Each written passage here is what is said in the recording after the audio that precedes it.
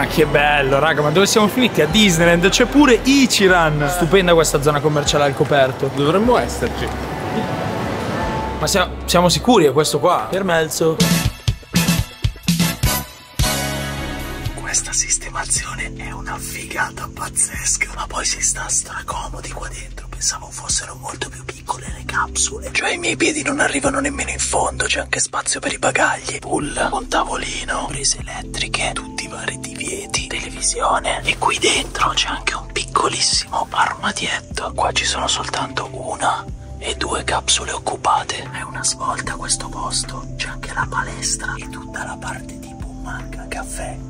La prima cosa da fare è togliere le scarpe e metterle via. Al check-in ti forniscono una chiave per il tuo armadietto con il numero del tuo loculo. All'interno della zona Colombari, ovvero la zona notte, ci starebbero tante persone, tutti uomini, è solo maschile, ma stasera i letti occupati sono pochi. Le comodità non mancano, è tutto super pulito e silenzioso, costa poco, ma c'è un però. Le docce sono nell'area onsen, dove i tatuaggi non sono ammessi. Come faremo a lavarci? Ti immagini che abbiamo appena prenotato la seconda notte in questo capsule senza averci mai dormito? E stanotte sarà un inferno, non riusciremo a riposare perché russano tutti. In realtà si dormiva benissimo, abbiamo fatto bene a prolungare il soggiorno. Figata pazzesca, tra i capsule hotel che ho visto nei miei viaggi in Giappone, questo è indubbiamente quello più bello. Non vedo l'ora di dormirci, anche perché ho un gran sonno. Però adesso sto facendo un giretto, ribecco gli altri. C'erano 38 gradi lì dentro. È una capsula sauna. Io non ci volevo venire nella sala giochi, dovrei andare a dormire, sono in piedi dalle 4. Raga, non l'ho filmato perché ogni tanto mi diverto anche senza filmare. Il gatto salmone, l'ho vinto! Mi è costato soltanto 12 euro, però va bene, l'ho vinto! Non me ne sarei mai andato a questa sala giochi senza vincere un regalino. Il gatto salmone! Questo posto è una rovina perché puoi pagare con la tessera dei mezzi, con le carte di credito. Zio, ti ricordo che siamo in giro soltanto con uno zainetto. Dove hai intenzione di metterlo nel remoto caso in cui lo vinci? Voglio prendere il cavallone. Ma non è possibile. Vabbè, comunque amici, ben ritrovati sul canale per il secondo episodio del Giappone alla bersagliera. Oggi vi portiamo con noi alla scoperta dei luoghi nei quali si è abbattuto il disastro di Fukushima. Preparatevi perché sarà una puntata interessantissima che è stata supportata dal magico sponsor di oggi. Ma tu vorresti accedere a un wifi del genere senza avere attivo NordVPN che protegge i tuoi dati personali? Io no. Autogrill in Marocco, aeroporti in giro per il mondo, quei caffè in cui trovi la gente che lavora col portatile. Eppure quando sono a casa tengo la mia connessione ad internet sempre protetta grazie a NordVPN che trovate linkato qua sotto in descrizione. Miglior offerta disponibile al momento e sempre 30 giorni di prova gratuita soddisfatti o rimborsati. Così se lo provate e non vi trovate bene vi ridanno tutti i soldi. Semplicissimo da utilizzare, velocissimo. Ti puoi connettere in un battibaleno ad un server italiano quando sei all'estero o ad un server di un altro paese quando sei in Italia, aggirando così le georestrizioni per avere più film e serie TV a disposizione nei tuoi servizi di streaming o per verificare che il prezzo di qualcosa che stai prenotando o comprando non vari a seconda del luogo del mondo in cui ti trovi. Se usato in maniera furba ti fa risparmiare e soprattutto supporta la produzione video del canale, quindi vale la pena di dare un'occhiata ai link che vi lascio qua. Grazie a chi lo farà, grazie a NordVPN e buona continuazione del video. Buongiorno amici, è una fantastica giornata di sole qui a Sendai, abbiamo dormito poco ma molto bene. Sono dovuto andare a fare la doccia mega presto nascondendomi come un ladro perché altrimenti mi vedevano con i tatuaggi non volendo urtare la sensibilità di nessuno dato che si sta tutti nudi tutti assieme sono andato quando nessuno mi poteva vedere. Il piano per la giornata di oggi è quello di visitare la zona di esclusione attorno alla centrale nucleare di Fukushima. Se vi ricordate nell'episodio precedente siamo passati da Fukushima ma la centrale si trova sul mare e per raggiungerla saremmo comunque dovuti passare da Sendai. Soltanto che arrivare in quella zona, come potete immaginare, non è affatto facile con i mezzi. Infatti, dopo un paio di cambi ci siamo ritrovati davanti ad un treno cancellato e siamo stati costretti a cercare di convincere un tassista a portarci nella nostra prima tappa, ovvero Namie. Con l'aiuto del traduttore ci siamo fatti capire e in questo momento amici stiamo per visitare ciò che rimane di uno degli edifici più duramente colpiti dal maremoto dell'11 marzo 2011, essendo qui molto vicini al mare. Si tratta di una scuola che è stata evacuata poco prima che arrivasse lo tsunami e l'onda di maremoto quando ha investito la scuola era molto alta. Lì in alto è segnato quel cartello il livello dell'acqua che raggiungeva abbondantemente il secondo piano di un palazzo. La scuola però è ancora in piedi, adesso entriamo. Comunque tranquilli che quella che stiamo per fare non è un'esplorazione illegale, non questa almeno. La scuola è visitabile, ciò che è rimasto in piedi è stato poi messo in sicurezza per far sì che diventasse un luogo in cui vedere con i propri occhi e ricordare cosa successe quel tragico giorno. Qui c'è dipinta una mappa di tutta l'area, non riesco a farvi capire dove ci troviamo perché è tutto scritto in giapponese, però se questo qua è il porto noi ci troviamo in questa zona più o meno. Questi qua sono gli scomparti dove i bambini mettevano le scarpe che toglievano qui. Il vento è molto forte in questa parte dell'edificio perché logicamente non ci sono vetrate, ci sono delle correnti d'aria fortissime. Gli scalini sono tutti numerati e così i bambini erano facilitati all'apprendimento dei numeri in inglese. Ci sono le pareti che cadono a pezzi e tutto il metallo completamente ricoperto di ruggine perché l'acqua del mare salata arrivava fino a qua. Siamo al secondo piano, fa impressione pensare a quanto poteva essere potente e alta l'onda che ha investito la scuola. Qui ci sono dei bagni bassissimi perché questi qua sono lavandini per bambini e credo che sia rimasto tutto così com'era perché lì dentro c'è ancora il sapone.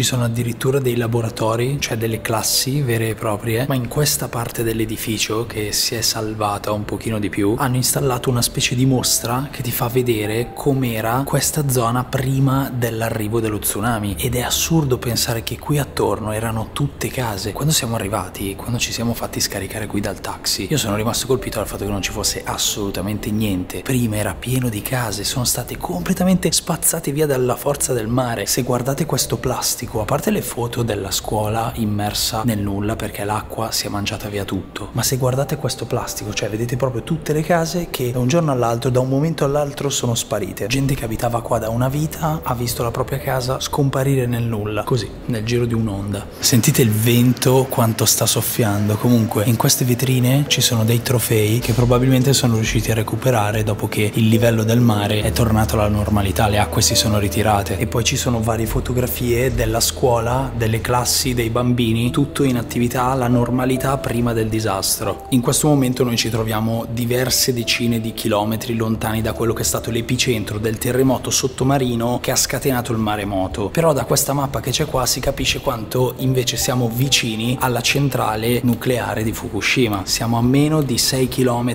in linea d'aria. La centrale di Fukushima è a circa 5 km e mezzo lungo la costa a sud rispetto a noi in quella direzione. Tutta quest'area è stata evacuata tempestivamente, è stata rasa al suolo dall'onda e qui non è potuto più tornare nessuno perché questa era la zona di esclusione. Tutta quest'area è stata abbandonata anche per via delle radiazioni. Se adesso guardi fuori dai confini della scuola vedi solo questa distesa di erba secca. Erano tutte case. Infatti mi sembrava troppo strano che ci fosse una scuola così grande in mezzo a nulla, perché venendo qua abbiamo fatto un bel po' di chilometri senza incontrare anima viva. Infatti il tassista che ci ha portato qui era molto stranito dal fatto che volessimo, cioè, tre occidentali che vogliono arrivare proprio qua. E non so se riusciremo a trovare un altro taxi. Ma andiamo a vedere il piano terra dell'edificio prima di capire come ci sposteremo da qui. Ah.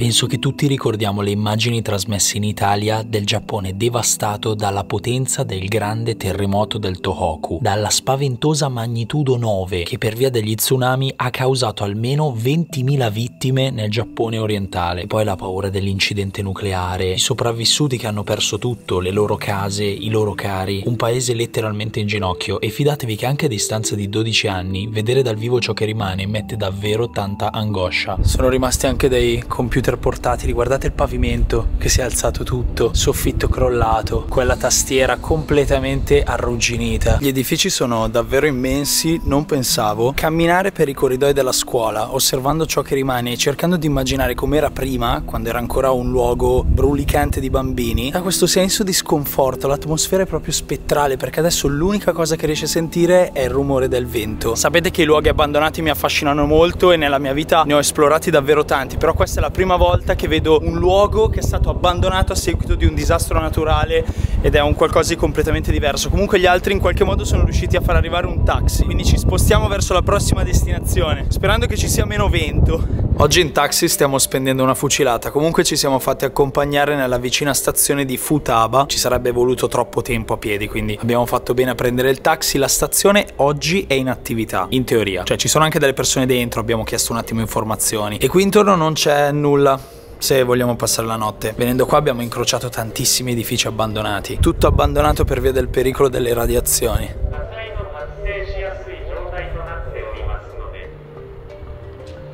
Mi diceva Reda che nel 2022, a gennaio, hanno iniziato la ricostruzione. Questa zona, la zona di Futaba, è di nuovo abitabile. Per noi, in teoria, è sicuro venire qui. Nel dubbio non toccherò niente. Per abbellire un pochino i pochi edifici che sono rimasti, hanno deciso di creare questi murales che compongono il Futaba Art District. Quando vieni qui è tutto molto desolato, però a tratti anche bello colorato. Comunque tutto attorno a noi è pieno di case abbandonate. C'è Duccio che sta parlando con la polizia, la vigilanza. Questo è un parrucchiere abbandonato.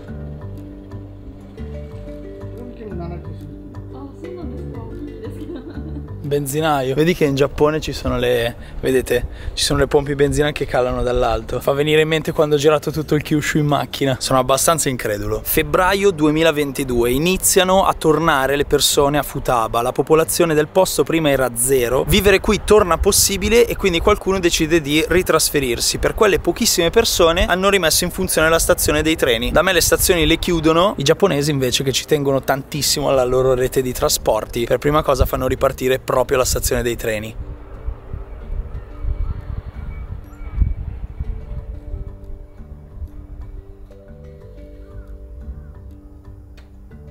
Ci guardavano tutti straniti perché effettivamente quante persone, soprattutto occidentali, prenderanno il treno da o per Futa?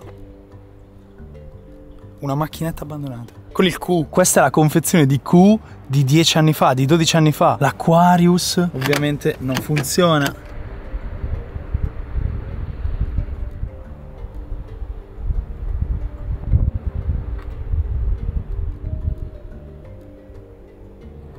Ragazzi, ma è pazzesco. Siamo all'interno della stazione dei pompieri di Futaba abbandonata. C'è dentro ancora tutto. Se mi vedono qua dentro sono guai, però io vorrei guardare di là.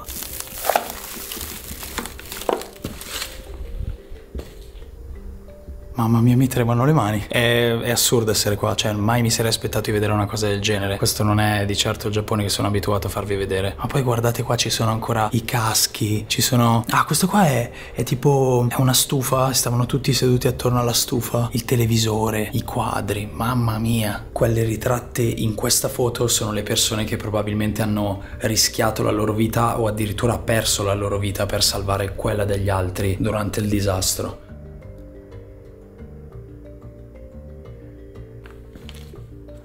Però di qua c'è altra roba.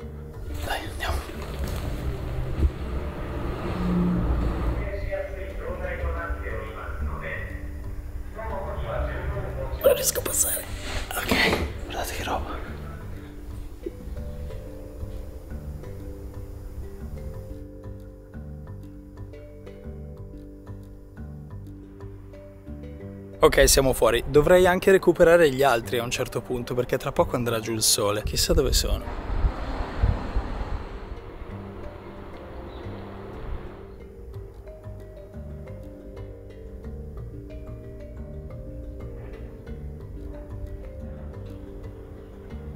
E questa ha tutta l'area di essere una, un'abitazione tradizionale giapponese e questo è ciò che rimane delle pareti di carta tipiche delle case in Giappone. Questa in particolare mi sembra anche molto pericolante, c'è davvero troppa roba all'interno.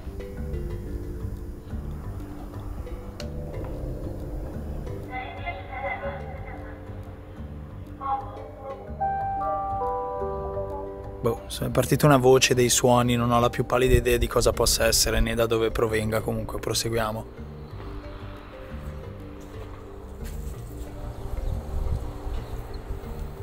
Tutto troppo strano, troppo surreale perché siamo letteralmente a due passi dalla stazione che è nuova, in funzione. Qua invece ci sono edifici abbandonati con il tetto che mi arriva alla testa. Cioè, ma pensate se voi doveste tipo, come è successo anche in Italia, da alcune persone che magari mi seguono anche, cioè mi vengono i brividi a lasciare indietro gli album fotografici, tutti i propri ricordi, tutte le cose uniche che uno possiede, quelle cose che rendono il luogo in cui vivi la tua casa.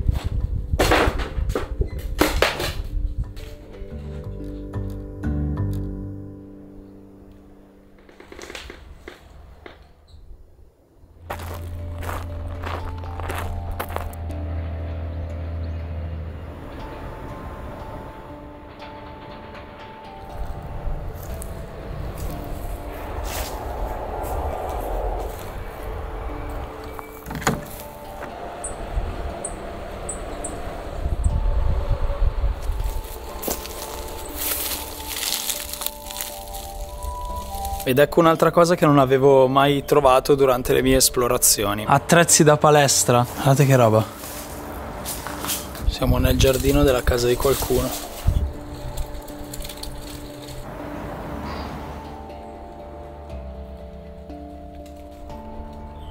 Al secondo piano di questa casa, bellissima tra l'altro, si vedono ancora i panni stesi.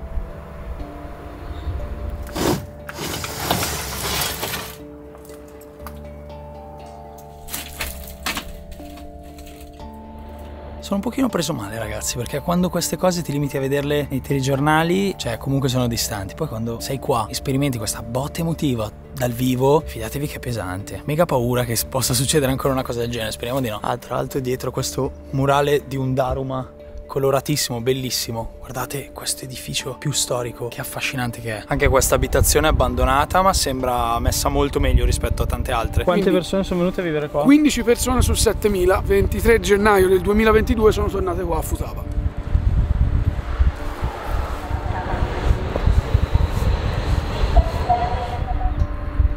Il Giappone si riconferma paese di grandi contrasti perché le strade sono perfette ma gli edifici sono in rovina. La gente passa con le macchine, va avanti con la sua vita ma la città è praticamente ancora tutta abbandonata. 15 persone sono venute a vivere qui e io sono stato riempito da 15.000 di questi aculei di una pianta che faceva da guardia a una casa dove ho tentato di entrare quindi passerò la prossima mezz'ora prima di prendere il treno togliermi tutte queste spine di dosso. Tra l'altro Reda mi diceva che nel giro di tre giorni Sei giorni. sei giorni hanno ricostruito qualcosa tipo 813 km di strade. A parte che Duccio vestito così potresti anche sembrare uno che lavora qua se non fossi biondo.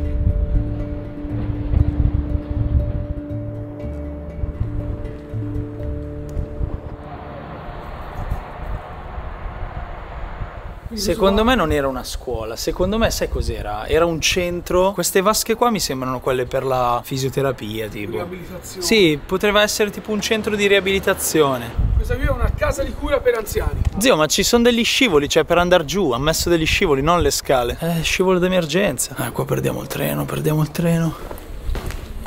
Se finisco di vedere quale. Polizia. Cambio di programma è alle 16. E che ore sono? Sono le 50, zio. Oh, dove hai visto correre così veloce?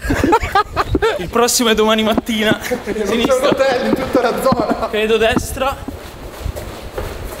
Con la polizia che a momenti ci becca. Ah, ci siamo, ci siamo, ce la facciamo. Ce la facciamo, ce la facciamo, siamo alla stazione. Comunque probabilmente la polizia se mi avesse sgamato all'interno di quella eh, casa di cura abbandonata non avrebbe neanche saputo cosa fare perché qua, cioè, quando è che hanno a che fare con della criminalità in Giappone? Che poi criminalità su via, non ho fatto nulla di male. Da che parte? Qua. Metterci a correre per raggiungere la stazione è stato abbastanza inutile. Non soltanto siamo sembrati ancora più sospetti agli occhi della polizia che probabilmente stava pensando che stessimo scappando da loro, ma una volta arrivati abbiamo anche scoperto che il treno era in ritardo. Non ci credo, il treno in ritardo. Quello che i treni in Giappone non facciano mai in ritardo è un po' un falso mito. Può capitare specialmente se ti trovi nella zona di esclusione di Fukushima, ma tanto meglio così perché ho avuto il tempo di togliermi un po' di spine. Prima di tornare verso Sendai. Si torna alla modernità ed efficienza e perfezione giapponese.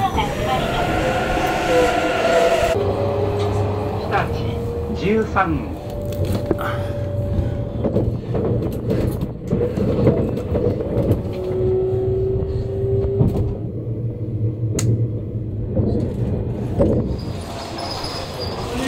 Arrivati.